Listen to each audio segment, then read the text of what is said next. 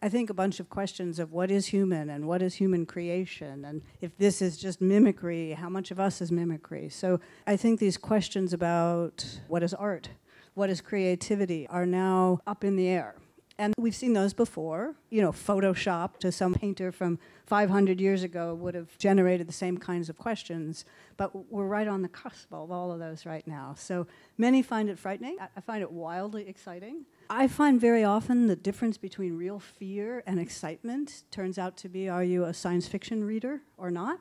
And the ability to you know actually kind of have worked your way mentally through different forms of human society where it's actually not the same and the relationship with mechanical things the last hundred years but now digital creative things. So i think that just as you know we can't understand the view of a peasant or a serf you know 500 years ago we're, we're on the cusp of that change